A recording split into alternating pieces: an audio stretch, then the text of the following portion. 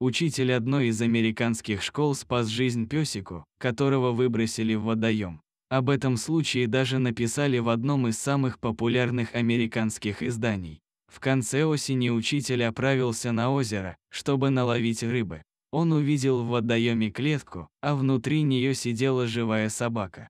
Брайан, имя учителя, был шокирован этим зрелищем. На часах был полдень, когда я увидел пса, рассказывает молодой человек.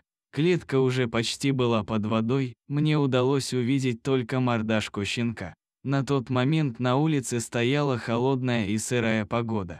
Брайан быстро разделся и прыгнул в водоем, чтобы достать, вызволить животное и спасти ему жизнь. Я уверен, что песик провел несколько часов в ледяной воде, рассказывает Брайан. Я быстро освободил собаку и вытащил на берег.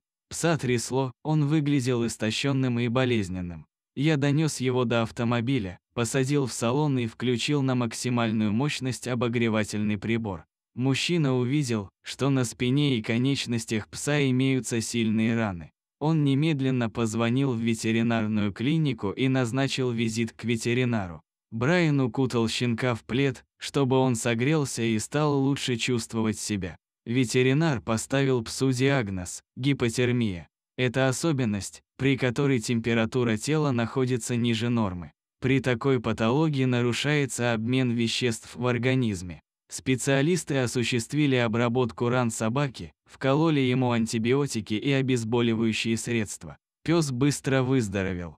Через несколько дней собаку определили в организацию по отлову бродячих животных. Пес пробудет там до того времени, пока не станут известны все подробности случившегося. Собаке дали кличку Марли. Так совпало, что у Брайана, который спас Марли, недавно погибла собака, он принял решение забрать щенка. «Я хочу, чтобы эта собака стала частью моей жизни», — сказал Брайан. «Как хорошо, что существуют такие люди в нашем мире».